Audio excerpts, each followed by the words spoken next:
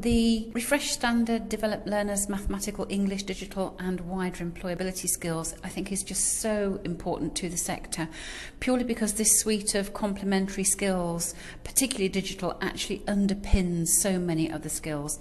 So we're thinking about, you know, techno-mathematical literacies. Learners are going to need a blend of English, maths and digital. So it's really good that rather than thinking of these as component skills, these can be found together in one standard and the focus is also on employability. When it comes to the kind of activity that this standard describes or advocates.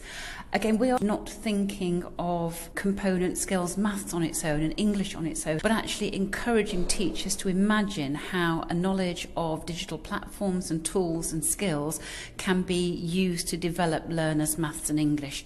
So, for example, the ability to use online indexes effectively to look up words and navigate through documents, how they might be using digital tools to do maths measurements and all of that is adding up to employability.